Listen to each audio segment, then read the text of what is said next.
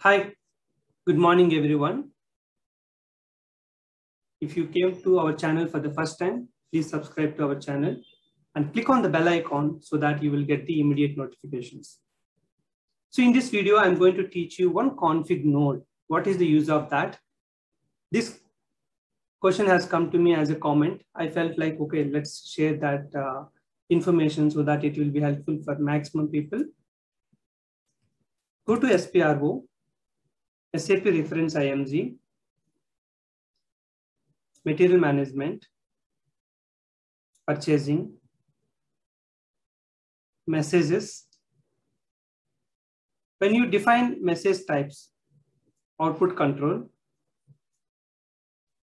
message types, define message types for purchase order.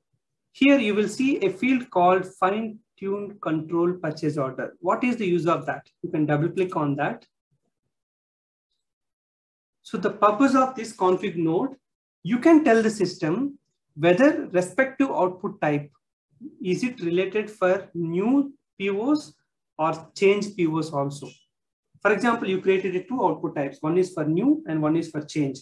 Then you have to assign the new related one with indicator one and the change related one with print operation two. See this one. If you're using the same output type for both, you have to assign for both of them. You can see that print operation. Okay, new or change. There are many other uh, uses are there. Mostly we will use this uh, one for new and two for change.